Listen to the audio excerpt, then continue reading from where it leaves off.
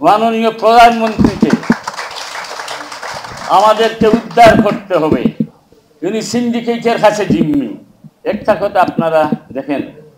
আমরা বলি, বর্তমান সরকার লুটপাট করতেছে, আইনের শাসন দিচ্ছে না।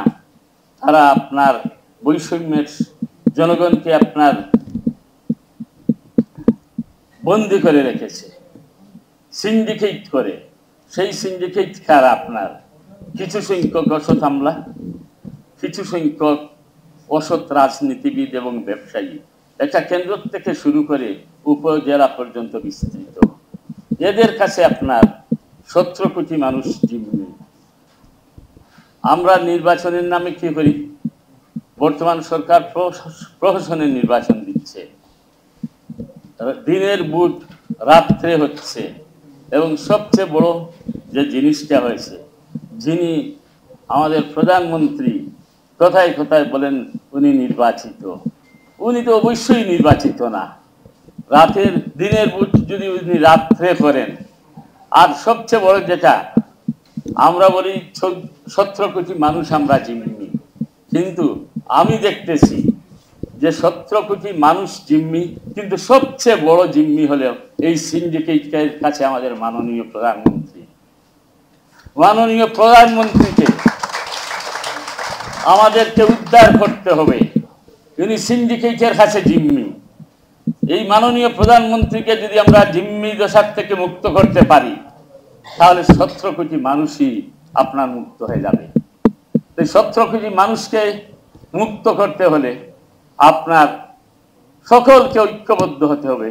আর বিশেষ করে যারা গণফোরামে আছেন, সবাইকে আমি আমার স্যারের পক্ষ থেকে বলব যে জাতির জনক যেভাবে পাড়ায় পাড়ায়, মহল্লায় মহল্লায়, ইউনিয়নে, উপজেলায়, জেলায় জেলায় সংগঠন করেছিলেন, মানুষকে ঐক্যবদ্ধ করেছিলেন অন্যায়ের বিরুদ্ধে, বৈষম্যের বিরুদ্ধে, দুর্নীতির বিরুদ্ধে আমরা মানুষের কাছে যেতে হবে, মানুষকে ঐক্যবদ্ধ করতে হবে এবং মানুষ যখন ঐক্যবদ্ধ হবে, তখন মঞ্চে যারা উপবিষ্ট আছেন, অভিজ্ঞ রাজনীতিবিদ, তারা কিন্তু নেতৃত্ব দিবেন এবং যখন ঐক্যবদ্ধ জনগণ দাঁড়িয়ে যাবে, তখন সুযোগ্য নেতৃত্বের জন্যই আমরা আমাদের যে কাঙ্ক্ষিত বাংলাদেশ,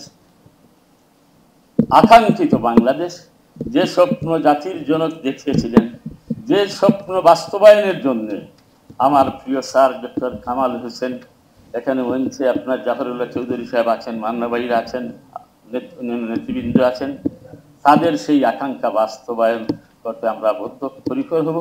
দুঃখের সাথে বলতে হয়, যেটা আমি মহান জাতীয় সংসদে বলেছি, যে চার কোটি নূতন প্রজন্ম আমাদের, তাদেরকে নিঃশেষ করে দেওয়া হচ্ছে। আপনারা একটু কে আঙ্গুল দিয়ে দেখিয়ে বলতে পারবেন যে দেখেন আমাদের এখানে ফ্যাক্টরিগুলো খোলা থাকে, সরকারি দল, বড় বড় সভা সমিতি করে। আমার নির্বাচনী এলাকার পাশের কনস্টিটুয়েন্সি সেখানে বড় বড় মিছিল হচ্ছে, সমাবেশ হচ্ছে। পুরো যখন দেশ লকডাউনের মধ্যে ছিল তারা কিন্তু অবিরাম হাজার হাজার মানুষের মিছিল দিচ্ছে, হাজার হাজার মানুষের সমাগম হচ্ছে এইগুলো কি আপনার আইনের ঊর্ধ্বে? যদি সরকারি দল আইনের ঊর্ধ্বে থাকে, তাহলে এগুলা সম্ভব, কিন্তু সরকারি দল আজকে আইনের পান। যিনি সূর্য প্রতীক নিয়ে একমাত্র প্রথম, সর্বপ্রথম এবং একমাত্র নির্বাচিত সংসদ সদস্য। বক্তব্য রাখছেন মোকাব্বির খান।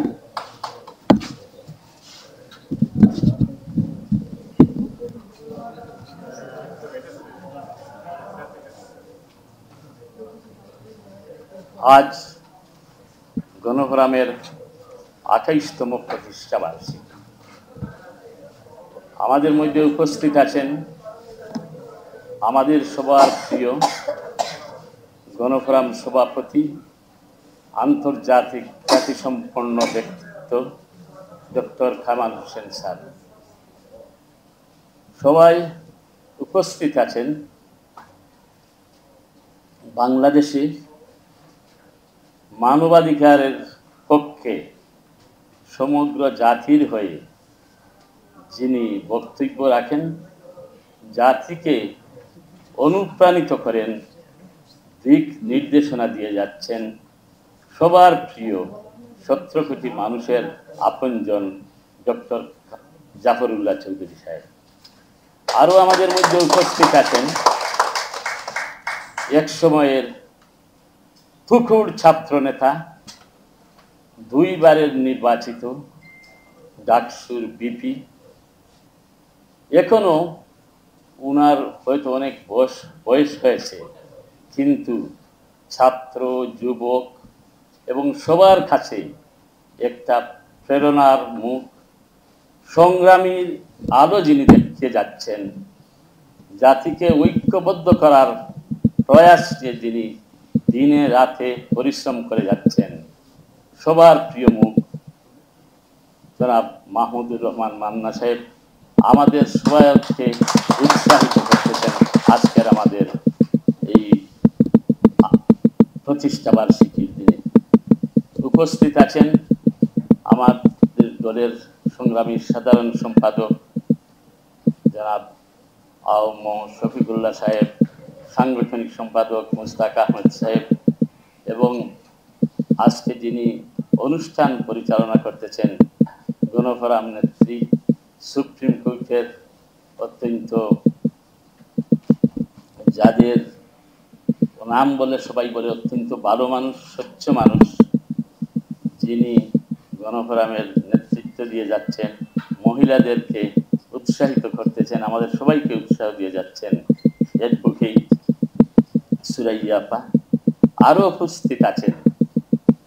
আমার নির্বাচনী এলাকার অনেক নির্বাচিত প্রতিনিধি, উপজেলা চেয়ারম্যান আছেন চেয়ারম্যান আছেন, বিশিষ্ট ব্যক্তিবর্গ আছেন, প্রবাস থেকে যারা এসেছেন, আজকে ভোরে কয়েকজন প্রবাসীরা বিমানে যোগ দিয়েছেন আমাদের অনুষ্ঠানে।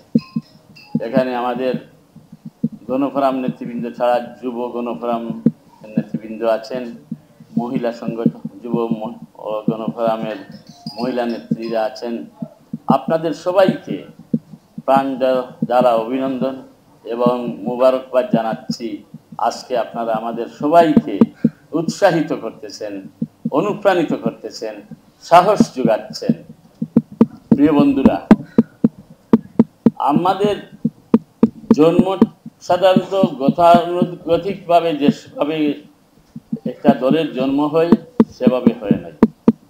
এখানে একটা আলাদা ব্যতিক্রম ধর্মী প্রক্রিয়ায় আমরা শুরু করেছিলাম এবং আমরা সবাই বিজ- বিজয়ী হব। এই প্রত্যাশারকে সবাইকে আজকের এই আমাদের বিশেষ দিনের শুভেচ্ছা জানিয়ে আপনাদের সবাইকে অশেষ অশেষ ধন্যবাদ।